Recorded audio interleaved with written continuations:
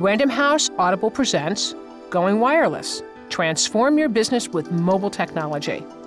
This is the author, Jaclyn Easton.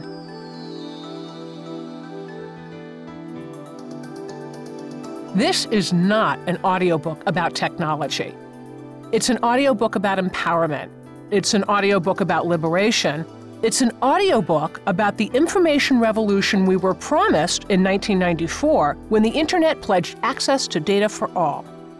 But what was positioned as a revolution felt more like servitude. In exchange for access to these silos of information was the need to be strapped to a computer and a wired phone line. Consequently, as we became more dependent on this seductive conduit of communication, we also became more bound to the technology providing it, thus tethering ourselves to monitors, keyboards, and dial tones.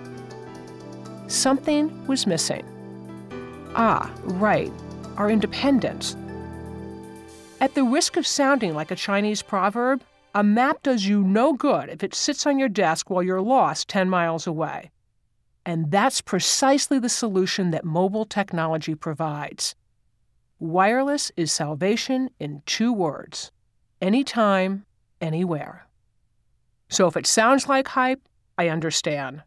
The speculation is skyrise high, and as Fast Company's senior editor George Anders once wrote, mention the words wireless internet, and it's as if you shouted free beer at a fraternity party. The reality is that wireless is not the next technology gold rush. It's a quiet transformation that has been progressing for years because, as you will learn in a moment, it's not just about cell phones and Palm Pilots. There's much, much more to it. But before I can tell you about the wonderful wireless world ahead of us, it's important to respond to the most popular belief about mobile technology in other parts of the world. By now, you've been told that the rest of the universe is wirelessly way ahead of the United States. In fact, if you believe the insane headlines about how far behind we are compared to Europe and Asia, you might actually think that the folks in the Netherlands have surgically attached their cell phones to their bodies and that the Japanese are molecularly beaming pizza to themselves using their iMode cellular handsets. While these examples are obviously nonsense, what is true is that the Bishops' Conference did order all mobile phone transmitters dangling from Church Tower Mass in Italy to be removed. You see, it's not that the rest of the world is so far ahead wirelessly, it is that the people in these regions use their cell phones a lot more than we do. In many of these countries, cell phones are equal to or less expensive than landlines. Keep in mind, too, that less than 50% of the world's households have any type of phone service. And because prepaid service is the norm outside the United States, anyone can get a mobile phone without credit checks or service contracts. But the biggest slice of the pie is that there was agreement on a standard of how the phones would work. By doing this, Europeans could roam from country to country and stay connected. Many in the United States can't traverse their own city without losing a conversation. This was possible because Europeans agreed early on to a standard called Global System for Mobile, also called GSM, and this allowed for network compatibility. In addition to a universal standard, there's another nifty feature of GSM that lets users send text messages to one another over their mobile phones. It is called SMS, and this stands for Short Message Service, and it works by letting users type a few sentences on their cell phone's keypads, cumbersome, redefined. The message then instantly appears on the handset of the recipient. Now, if you've ever used AOL Instant Messaging, Yahoo Messenger, or ICQ on your desktop computer, you've had a similar experience, only in this case, it's happening through cell phones. What's so appealing about SMS messages is that they are incredibly quick to send, as well as cheap, a fraction of the cost of a phone call. The only limitation is that these quickie missives are limited to 160 characters or less. Now, here's where it gets interesting. Even though SMS works like the messaging systems we are accustomed to accessing via the web, SMS actually has nothing to do with the internet. What happens is that these 160 character packets of information ride alongside voice data on the same pipe.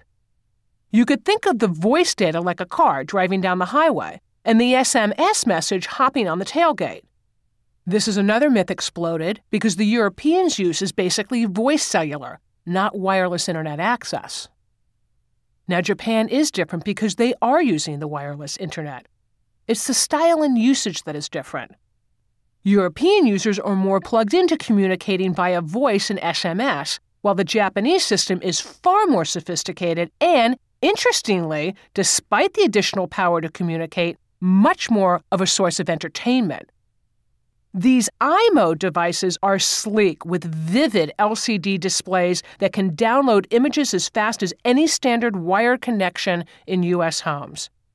Appropriately, given the smallness of the units, the Japanese use them to chat, play, and read the news, just about everything but commerce, for now. While the Japanese amuse themselves on their train commutes with their iMode technology, Americans are behind the wheel, talking instead of tapping.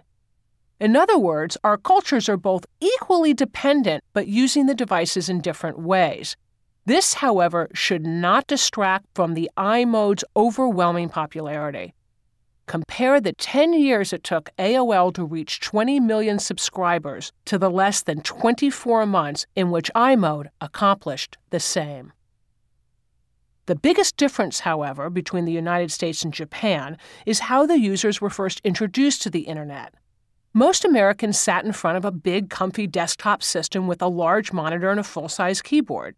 Now, when they see a four line monochrome display on a cell handset, you can register the disappointment. And this is part of the reason that the wireless web is gaining ground more slowly in the United States than expected. Keep in mind, however, that attractive interfaces have historically lagged behind the technology, so this also is a soon to be moot point. That said, for people living in Japan, where home connections are scarce, their first experience of iMode is just like our first experience of the desktop internet. It is inspiring as you consider the phenomenal communications and data opportunities available. Speaking of home connections, another reason for the perception that we were behind is that our landlines are comparatively quite good. Even though our infrastructure is far from perfect, it remains one of the best in the world. Our challenge now is that the increase in competition and a continuing lack of standards are delaying wireless's ultimate potential, though it does continue to progress steadily. On a final note, to eliminate the misnomer about the United States being behind the rest of the world, let me add that statistically, the United States has more mobile phone users than any other country in the world, with over 100 million. We began in 1978 with 2,000. Japan is second at about 55 million. People love to quote statistics about the Finns because of their 65% cell phone penetration, but Finland only has about 6 million residents. These numbers hardly represent any significant dynamics. So, given this information, here's the first note you want to highlight Nothing in wireless is what it seems. The big secret about wireless. The phrase wireless generally conjures up one of two images a cell phone or a personal digital assistant or what we call a PDA, such as a Palm Pilot. The reality is that half of the wireless installations in business will come from technology you've never heard of. Have you ever waved a SpeedPass wand to buy gas at a Mobil Exxon station? That's wireless. Did you ever rent a car with a global positioning system giving you directions as you drove? Did you know that the clothing manufacturers are now sewing wireless technology into garments to track the item through both the supply chain and the retail chain? Wireless not only picks up where the wired internet left off by being able to take it with you, it is also the bridge to pervasive computing, which is about computers being in everything and all those things being connected to the net. For example, these days, most high end machinery is being equipped with diagnostic chips that can remotely, using cellular enabled chipsets, contact a service center when repairs are required, all without human intervention. When you hear of these examples, you realize that we are being completely distracted by the hype of wireless and mass consumers. The less obvious but far more valuable nugget is in the metamorphosis of business processes from which companies are saving astronomical sums and finding themselves ridiculously competitive. This isn't conjecture, this is fact.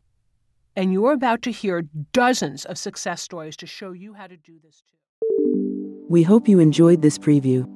To continue listening to this audiobook on Google Play Books, use the link in the video description.